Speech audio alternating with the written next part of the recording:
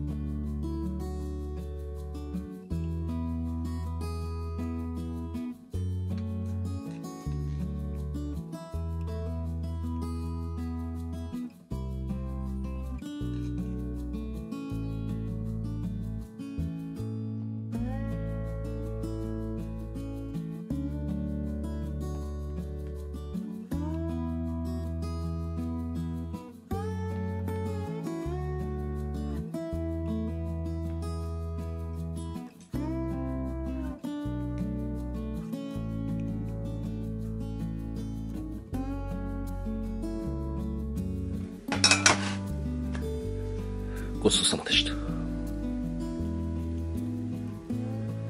いや、うまかったっすね。で、えー今回は、えー炊き込みご飯がメインっていうわけではなくて、えーこちらですね。この、えヴィンテージクッカーと超小型のガスストーブを組み合わせた、えプチ小型のオリジナルストームクッカーで遊んでみたんですけど最高ですね。炊飯はガス。火力が調整しやすいガスが楽ですね。いろいろアルコール燃料だったり固形燃料だったり試してみたんですけどもやはり自分はガスが一番。でこのオリジナルのストームクッカー最高です。もう自分がアウトドアやってきた中で自分のスタイルで一番ベストなベストな、えー炊飯セットになったような気がします。こことか削ったんですよ自分で。下も穴を開けて、えーガスが。ということで、えー大満足。今後しばらくはこれでしょうね。自分の炊飯メスティンではなくこれで、えーやっていきたいと思っています。非常に満足。